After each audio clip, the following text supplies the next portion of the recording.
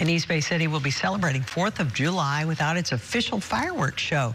Livermore city leaders say that the decision comes simply because there were too many people showing up and putting a strain on city resources. They're now offering a new way for residents to celebrate Independence Day. Our first Dan Thorn joins us live in Livermore tonight after getting some reaction. Dan, uh, we have a ways to go before the 4th of July, but do tell.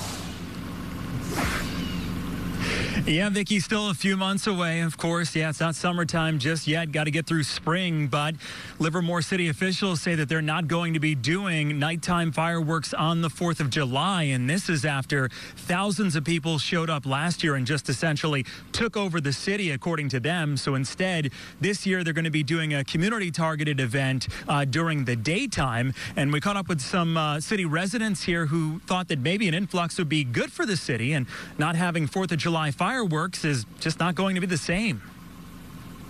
The 4th of July fireworks have fizzled out in Livermore. In a video shared on Facebook, the city says after more than 12,000 people showed up last year, neither it nor the Livermore Area Recreation and Park District can handle the influx this year.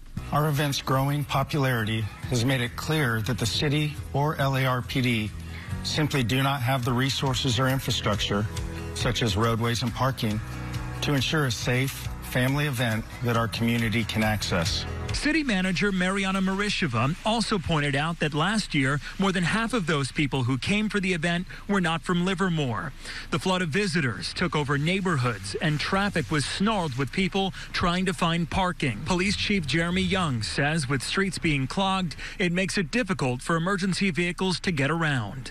Additionally, there was a high level of frustration from those stuck in traffic and those who live in the areas impacted by the crowds. Some Livermore residents say they were surprised by the city canceling the fireworks show.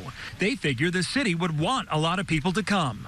Why would you not want to bring people and things to the city here and have the city make more money off of that? Well, why wouldn't they want business in town?